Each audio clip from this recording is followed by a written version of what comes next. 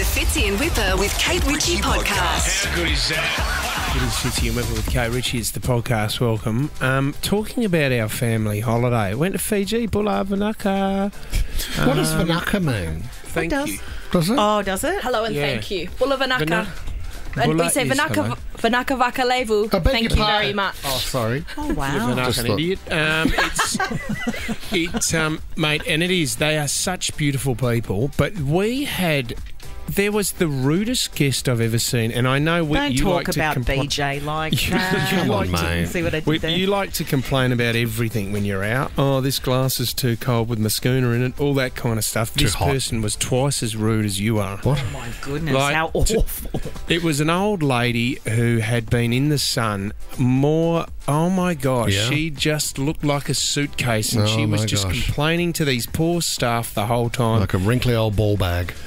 The the rudest. No, don't call Tom that. He hasn't heard that nickname Yeah, for years. I'm right Um, here. I'm, I'm here. Tom the sack. rudest guest. That's what we're talking about. Are we Rudest keeping guest. this? What I hope position have you seen them in? At a swingers party. No. Actually, I had a friend who went to a swingers party on the weekend. Did you? Did you? Say Yeah, I can't give away too much on that one. Oh, Do what was his know that- name? Ryan James Fitzgerald. No, it, no, it was a female. Has, uh, has she been before? No, and time? she did. She didn't do anything. She didn't do anything, but she wrote down. Boring. Oh man. Oh, Inga You're should not have- invited Inga again. should have got into it. No, that's She my wa- wife. she was asked. She was asked Oh. numerous times, and she felt. What's your language? She felt quite crook. She was Oh. like, What do you mean "Nah, by I what was can't she get was in." saying? Or Yeah, Diarrhea. Yeah, it was a bit full on. It was a little bit full on. What were they doing? And she obviously had known Tom for ten years, so to see him there with that, not like that. She had. it, it turns out the um, the mask. I should have got the full face mask. Well, you I should have known. covering my eyes Oh, like we Batman. would be able to spot You you. should have known where the invite came from, Lucy Ivy, that you'd bump into your sister. We've always said to you, the zip's got to be up, Tom. Yes. Um, yes. so somebody's. I can't lie. I have just is gone into a fun. swi- just gone into a swingers party. Somebody stop me! um, Can we So talk about anyway. swingers tomorrow on the show? yeah, it, no, it's a bit fun. Yeah, we It- can. it's a No, we- seedy, seedy world. Oh, really? That I love to death. no, that's all in the podcast. This is the Fitzy and Wippa with Kate Ritchie podcast. I love these stories. I adore them. It's in the paper today, the Daily Telegraph, page 45. Manly rookie over the weekend. So we got Origin game three tomorrow night. It's a big one. And one man we don't want to have a good game is Daly Cherry Evans for Queensland. He um, for game one he absolutely dominated. Game two he wasn't as good, but he's had to have a week off from Manly Seagulls. That means a young fella gets to debut for the Manly Seagulls last weekend, and that was Jamie Humphreys. So Jamie Humphreys, okay, so he's got his first game, and how exciting for his family. His old man was part of the club years ago, and, and a proud moment for the family. But not only his family, his mates. Yeah, right. Like the, the blokes that he grew up with, like he's grown up to be an absolute beast now. Like he's huge. He's put on a lot of weight. He gets picked. He's called the Humphrey Bear. They had signs down on the sideline. The boys got together and said, you know what? He, he- because Daily Cherries is coming, uh, Daly, Daly Cherry Evans is coming back after the Origin. Yeah. He might not play for Manly Seagulls again, boys. This could be his first and his last game because he's also been picked up by Wayne Bennett and the Rabbitohs at the end of the year. Right. So the boys go, well, if he's only going to play one game, why don't we have a crack at first try scorer? So Jamie Humphreys was paying $26 to score the first try. so everyone loaded up. This is what happened. As Tom joins in and Garrick through the hands and he feeds Saab down the wing. Humphreys! The first gamer with the first try! What a moment! Humphrey B. Bear. You don't think his mates were going off on the sidelines as they all collected thousands of dollars to watch their best mate play his first game and score the first try? What a night that would have been. Oh As my a group gosh. of young blokes winning a fortune and heading out that night. I mean, you don't oh. you don't want him to play another game. No. Like that's it. That's it. We're done. Well Retire. done. Congratulations, Jamie. No, I hope um, I hope he was at least wearing pants, unlike the other Humphrey B. Bear. This is the Fitzy and Wippa with Kate Ritchie podcast. Bula Vinaka. Oh, love first Fiji. time, first time the Fitzgerald boys have been to Fiji. Mum snuck off for a fiftieth a couple of years ago, Yeah. and I haven't heard any stories to come out of that one, Kate. That's for sure. Oh, wow. Is this Fijian music? Is it? Is this... Maybe. Hmm. Well, do you know what? Can I just say we did the Sigatoka River Cruise, which is an unbelievable experience. So it's the jet boats, you know, like the jet boats they have here in Sydney on the harbour, but also in hmm. Queenstown over in New Zealand and stuff. Yeah. But you go up the river and you go and spend the day with a local village. Oh, Right, so we spent the day with the Tonga village. You meet the elders. They cook your lovo, which is that underground oven, Kate. Yes. They cook in the Oh, ground. what did you Wow. have out of there? Was it like oh, suckling pig? snails? Beautiful chicken, pork. It was it was- Fish? Did you have fish? Yeah, there was fish. they yes. cook it under the ground. Yeah, it Yes. was magnificent. Then you get up and you dance with them. You actually give them gifts at the end. So we had lollipops for the kids. Oh, you're so in Hawaii kids- now. So all the kids Sorry, were running around off their chops. You never had sugar? Is that what you're saying? Oh, you should have seen these kids. The eyes lit up when the Chupa Chups come out. So that was a great day. There was a few things that went wrong. Like we're not very good as a family when we travel. Oh. Um, um, staying at the resort, you know, I, my favourite meal for me is the buffet breakfast. Oh, I yeah. go on hell for leather. Right? No. Do you have like two breakfasts? I can never decide whether to have the congee Of or course you the do. continental. Yeah, of course you do. So I, we're at BJ. We're, we're in the resort. Buffet breakfast is pretty shockers, and I could smell burning plastic. What's going on? And I've had a look over, and all the staff are going crazy because a kid has decided to put a plastic Nutella satchel into the toaster Awesome. to melt it. What a little turd. And that child was my son, Lennox oh. Stephen Fitzgerald. what? I mean, what a great kid who's made a mistake. Who's like, Dad, I was just trying to melt the oh, Nutella. it was too him. hard to spread. Awesome. So that's stuffed the toaster. I love Huey as well. We went for a walk along the beach, just the boys one day, Kate, and uh, Mum went and got a. She went into the spa, and we found it was a tiny. It was a baby. It was a dead shark on the. Uh, it was Yeah. that had been washed up on the beach. When you say mum, are you talking about your mum or BJ? no, BJ. Oh, good. BJ. Do you think Claire Fizzle dropped in I for a bit of didn't bulla? know. You kept saying mum went here and mum went there. Bulla. Do you, you don't call- call, her mum, do you? Yeah, we. BJ Yeah, I do it and- sometimes, BJ yeah. and I call each other mum and dad. Yeah. I do. I do. Do you? Yeah, I think I do. Yeah, With go and ask May's mum. dad, I say daddy. Yeah. Yeah, hey, daddy. Go and ask Dad about that. Go and ask Dad. No, I don't call him daddy. It- it's a bit weird when you start the sentence with smack this. I call. Park that big Mack truck, right in this little garage. Daddy. No, I. Let's be very clear. I call Let's be very May's dad daddy to her. Right. Right. Okay. Oh, I gotcha, don't yes. say, Yeah, gotcha. hey daddy. Okay. When she's not around. Okay. um, Thank you for Very clearing that up. clear. Very, Very, very clear as mud. So clear. So I kept walking along the beach. Huey found this dead shark, and I Mm-hmm. looked back and he goes, "Dad, no, Dad, we need a proper burial." And he, I said, "What, "Mate, just let it go because the high tide will come in. It will take it back out. You'll be fine."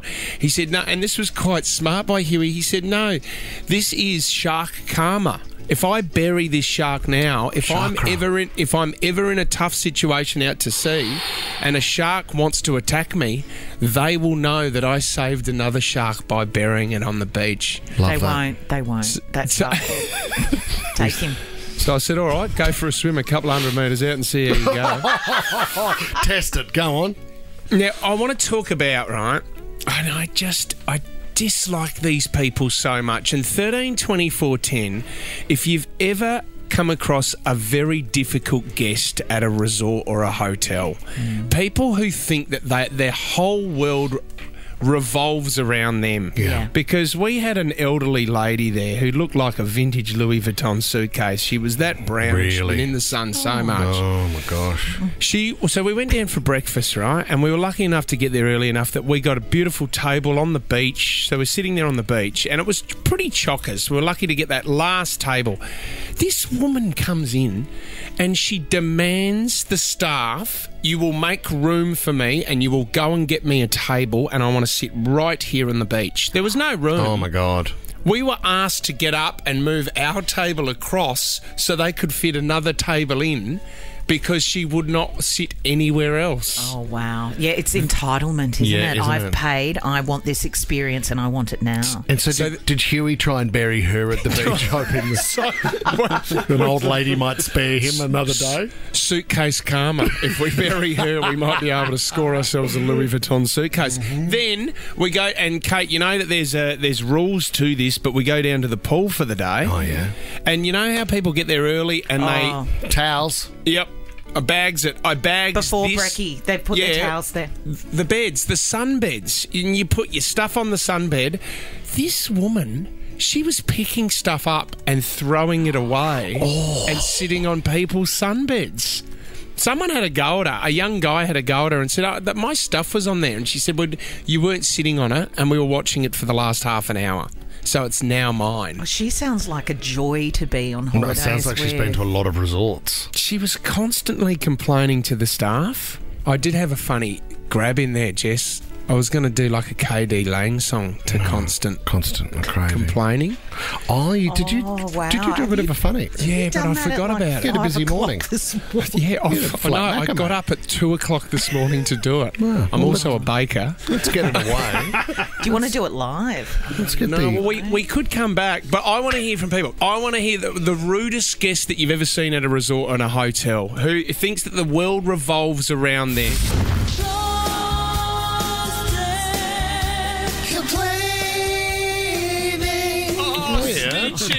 Stitchy, that is very good. Oh, it was There it worth is. the wait. Oh my god! Don't get I out of didn't your think you car. could get up that high. No, w- went to a resort. There was a lady there demanded that they bring a table out, and I want to sit at the front of the beach. You move those two tables. I could hear it. These poor staff, and you know, the Fijian people are such beautiful Aren't people. they? Yeah, they are. Aren't They they? will do anything for you. So we had to get up, move our tables just to fit in another table for this lady. Constant complaining. Sean in Neutral Bay. Who did you work with, Sean? So I, I, I worked at a resort uh, here in Australia, and we had this guest who came in for breakfast.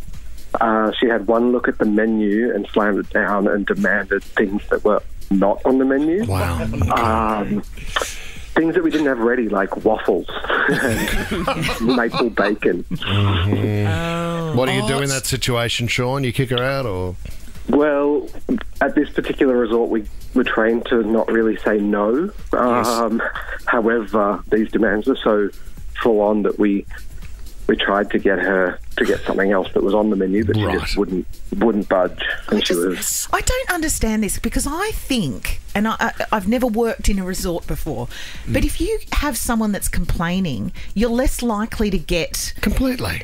what, What you you're want. asking, you know, and then Yeah. when you eventually get it, where's the payoff? It can't feel good to have No. demanded something. Sean, Yeah, thank but- you, thank you, Sean. So, thanks, No, Sean. thank good- you, Sean.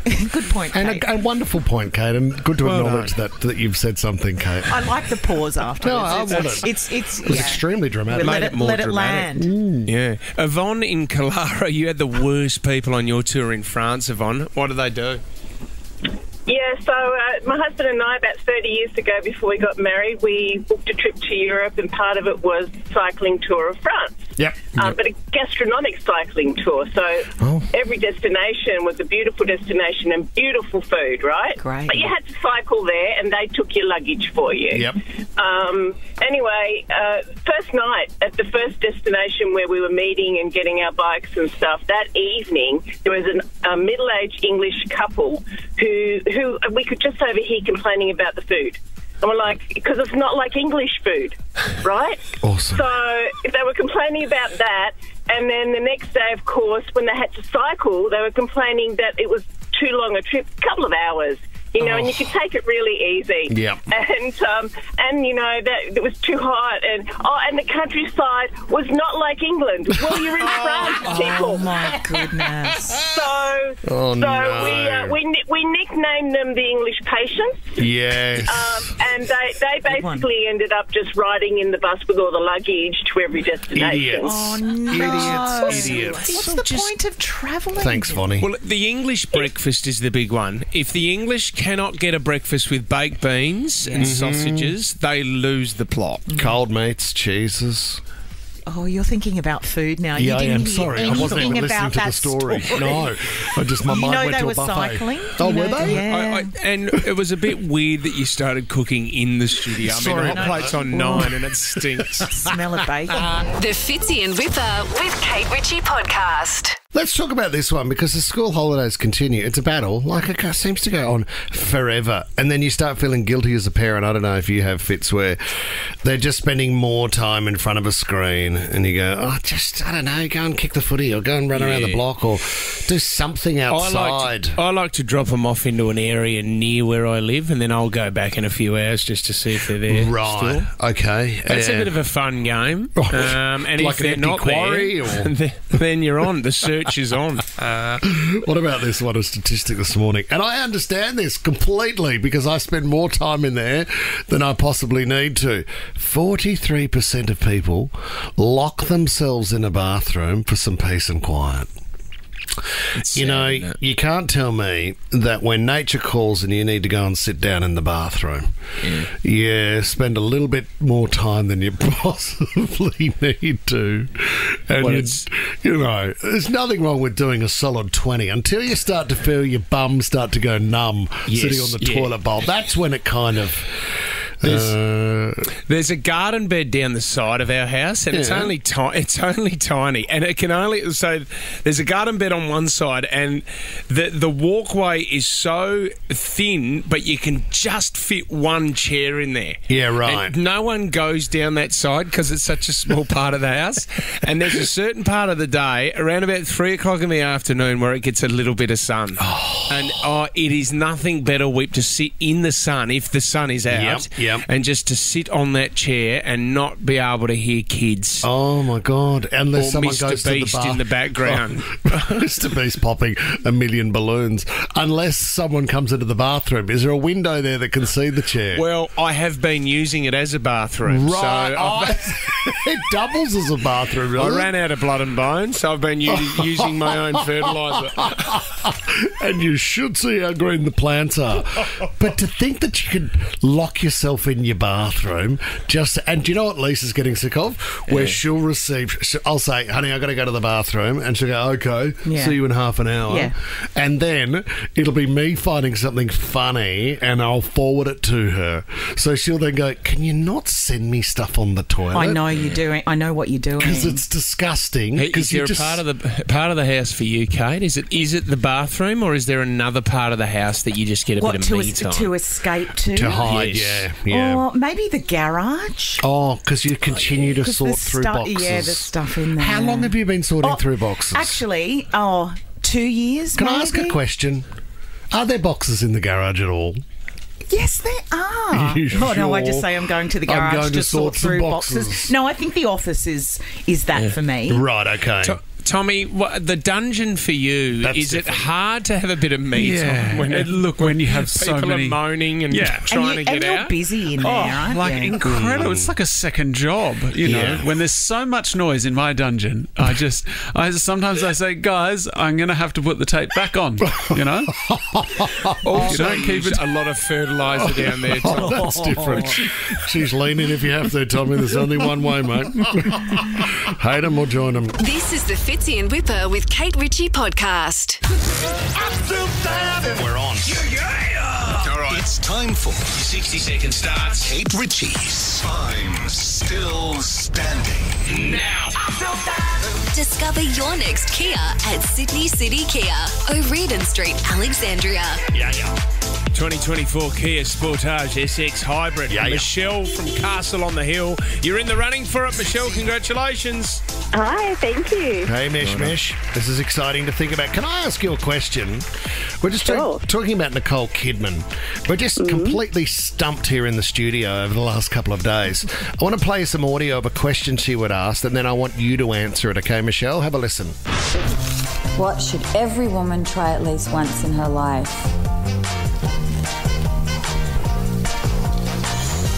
We all know what that answer is, and way more than once. What do you think it is, Michelle? Oh, is it Botox? Oh, we don't know. I was so nervous. Oh, I was excited. There has Very- been a couple of radio competitions over the years that have gone south with an answer like that. Oh, pardon the pun. Um, okay, Michelle, you're in the running for $200 today and that Kia Sportage SX. Good luck. Um, you're going first. If you have the power at the end of 60 seconds, you take home the cash. Michelle, your 60 seconds starts now. What's been the number one most played song on Aussie radio so far this year, Michelle? Oh my gosh. Is it. Oh, pass. Too long. It's Cyril stumbling in. Kate, over to you. Edward Michael Grylls is better known as. Oh, Bear Grylls. Yes. Name one of the Wiggles' side characters. The pirate. Or Dorothy. No. Oh, yeah, lucky Dorothy. The Captain pirate is not an answer. Well, Kate, isn't who there a is pirate? who is Keith Urban married to? Nicole. Correct. Padam Padam is sung by who? Kylie. Yep. Which home and away star recently celebrated their 80th birthday? Hmm. Oh, let me think. Ray Meagher. What US state was Jurassic Park filmed in?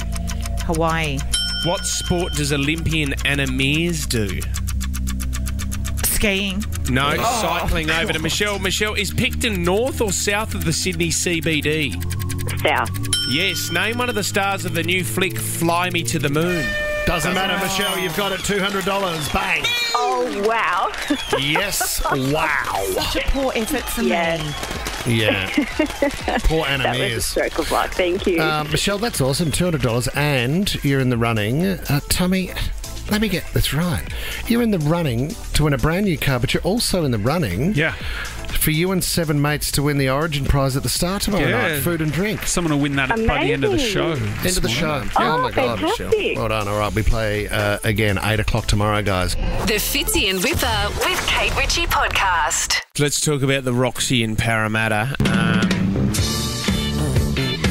what a great song. Um, if you've had a great time at the Roxy before, I mean, over the years, it's been an amazing nightclub, theatre, but it's, you know what, they've let it go. And a lot of people, are, the Roxy is just an Yeah. iconic venue in Parramatta. They need to do it up. Well, they, they want to do it up. This is plans have been, well, they've been submitted, whether they get over the line, but they're talking about cafes, bars, colonnades, and an auditorium. Plus, they've put their hand up and said, we want to host the Dally M Awards at the Oh. Roxy Theatre in Parramatta. Is it big enough? I mean, I thought it was just sort of pigeons living there these days. Really? I don't think I've ever been. No, it's been waiting for a facelift for a long time. I mean, It's- you can we need do a anything photo. with it. I need to have a look at it. It's an what it amazing looks like. place. Could Like, you uh, imagine, Fitz, like hosting an Oktoberfest there? Just to, like, just trestle tables and truckloads of beer. I mean, I'm just thinking out loud Yeah, of I what know. I'd like to get Where did involved in. that come from? Do you know what? The only way that you're going to get it up and running again? The Eels need to win a premiership. Yep. Right? They need to take it out. And you know what? You just open up the Roxy and you open up that front bit where they're on the balcony mm-hmm. there and they look out down the street to Parramatta to all the fans. Peter Wynn will be there just throwing out jerseys. Yep. You know what I mean? And this is the way you get the Roxy up and going again. The You Eels reckon? need success. What do you think the chances are of the Eels no winning chance. a premiership? Absolutely no Have chance. you? Oh, I've been to Parramatta to watch the Eels. Do you know, there's a great, yeah, you would have, and there's a great, just around the corner from the Roxy, there's a great um, hobby shop and remote control car shop. Oh, yeah, Yeah, that we, should, we should get that up and going again, too. No, it's going fine, mate. You've got such a great range of remote control cars. Why don't they combine it? Why don't they put all the all their train Mm. sets and that in the Roxy, and you can have a few drinks around it? I haven't thought about that. Imagine if you found love at the Roxy. Like, what if you met your partner there, 13, your 24, husband? 10. Have you picked up at the Roxy? Well, picked Well- up and met the love of your life. Well, are could have been the very love of your life for 30 seconds, Kate. Well, you never know. Oh wow! This is what You're this song- stretching it out. This song is called "Love Is the Drug," and that's Mhm. that's what you get. The Roxy music. You go you to the. Roxy, and love is the drug when you go there. That's for sure. love it. And I'm addicted to love, guys. Yeah, is he what, man? Look Give at the me call. one more shot of love. What are you talking about? What are you doing? I go, don't know. Go and get your just- seat and go and sit down the side of your One house more again. hit. Oh, do you know what we should do next singles party? Yeah. At the Roxy. You're not crazy. It's not bad. Don't you reckon? Parramatta No. is the heartland of Yep. Sydney. Parramatta think there's a pump. few Full of safety. singles. There's a few safety issues though. With just the Kate. area It's or the Kate. building? Get the listeners in. Can we get Kate, Fitzy, and Wippa out of there? It's about to fall down, but just keep the listeners in there. Prop it up. It'll be fine. This is the Fitzy and Wippa with Kate Ritchie podcast. Oh, I just got a text from my mom. Yes, because I'm a texpert, an expert at texting. Write my reply. You got me in love again. I love it. You've got me in love again, guys. This is actually, I, I'm going to put it out there. Go on. I mean, Wednesdays are good, winning Wednesday, all that Yeah, stuff. theme queen. This could be my highlight of the week. Wow.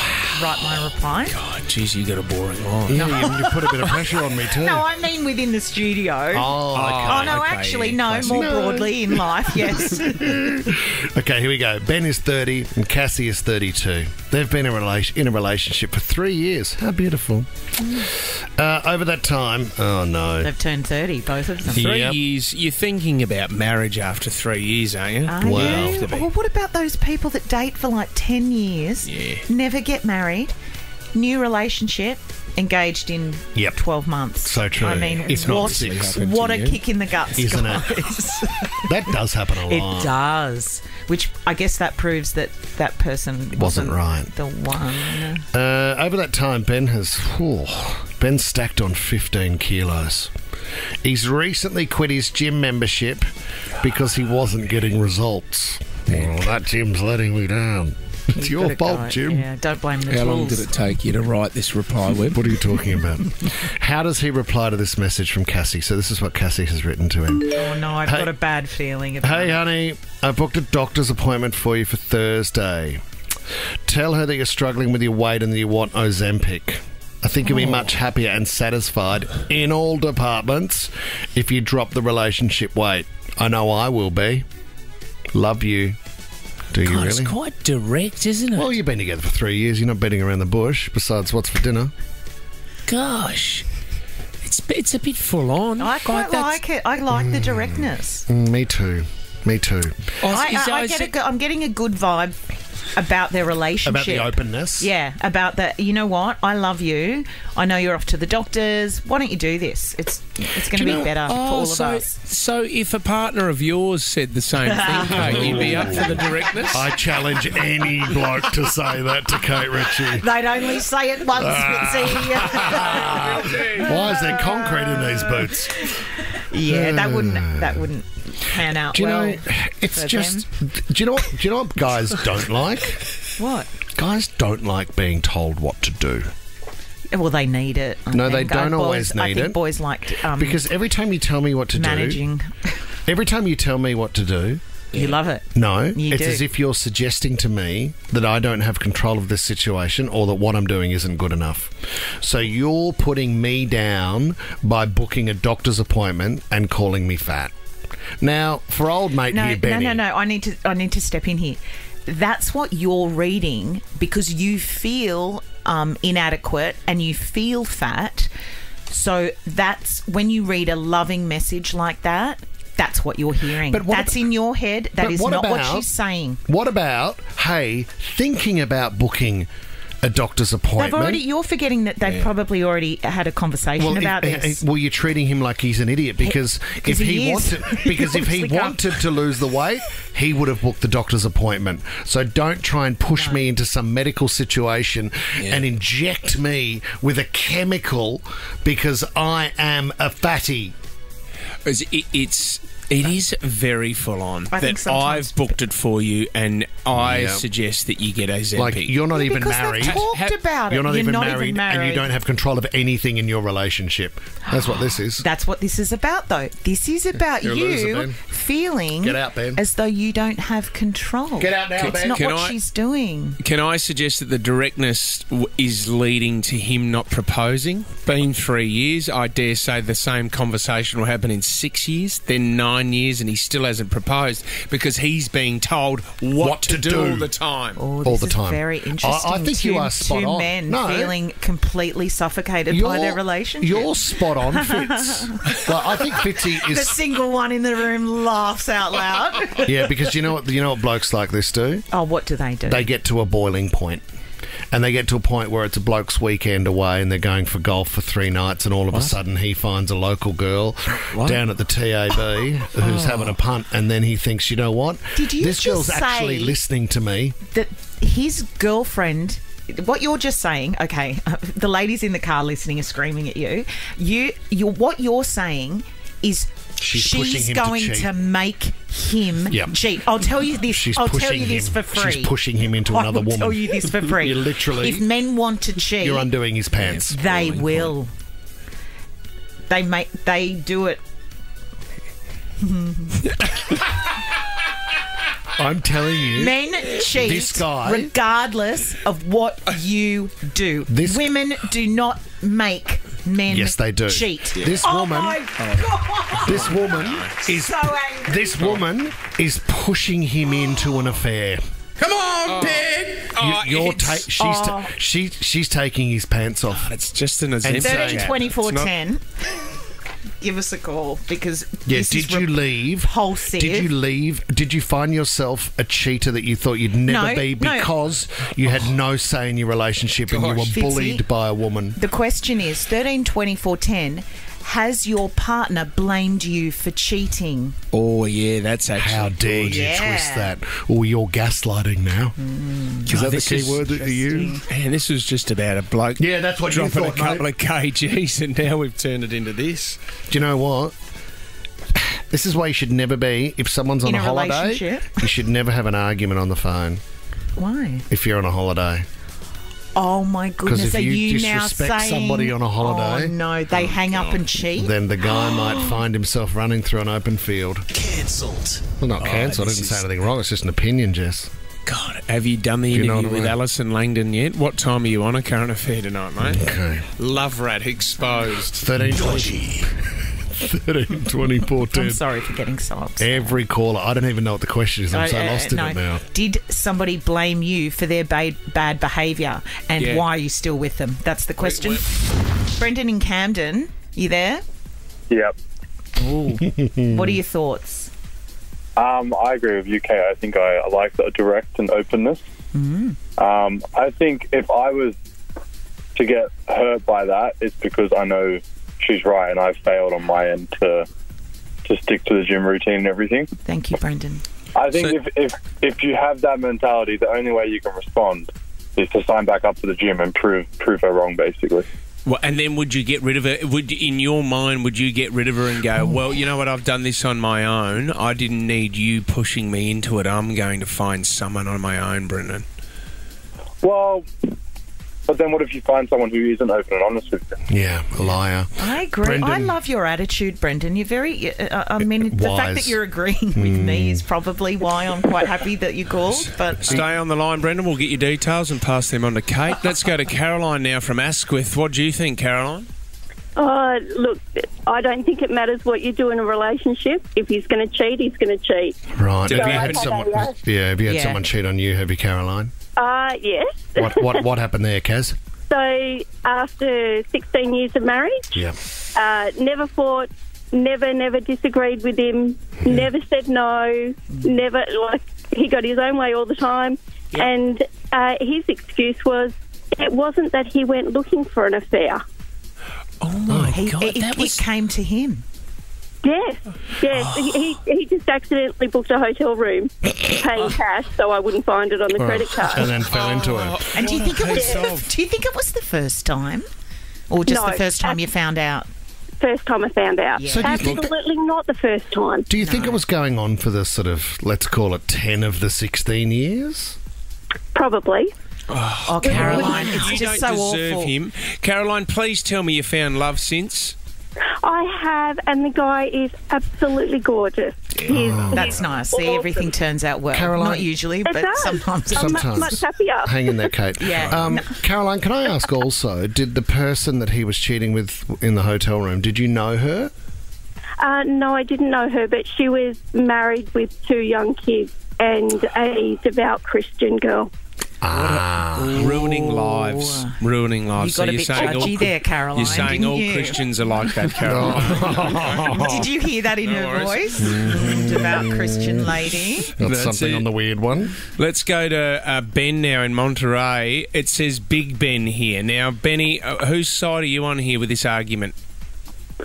I'm on the boys' side. The gay community loves hard nosed, pushy, controlling girls because they always get guys over the line recruited onto my team. Fantastic. We What love you think oh, pushy women Gay? Is that what you're saying? pushy women turn men gay? Absolutely. I They're love you, fantastic Ben. for our team recruitment. Oh, I'm your poster girl, Big Ben. Oh, Benny, Kate's working every day for you, mate. Be- Ben's like a list manager for a sporting team, Yep. and he's going, We've got more recruits coming in, mm. guys. You better keep it up, pushy Yep. women. Oh, that's amazing, Ben. So, have you actually been with men who have actually said that, that they've been pushed into becoming homosexuals? Absolutely. They've definitely helped me up my conversion rate. Yep. Oh, this is Oh, awesome. you are hilarious. Well done, Big Benny. That is great. Kate Ritchie, you're doing so much good work for Ben. He really appreciates it. I'm not driving and to all people the gay to be community, gay. all the guys out there, they thank you. They collectively thank you this morning for what you've done I'm for going to the have a community. float next year. pushy, uh, pushy women unite. Fits in Wippa with Kate Ritchie is a Nova podcast. For more great shows like this, download the Nova Player via the App Store or Google Play. The Nova Player.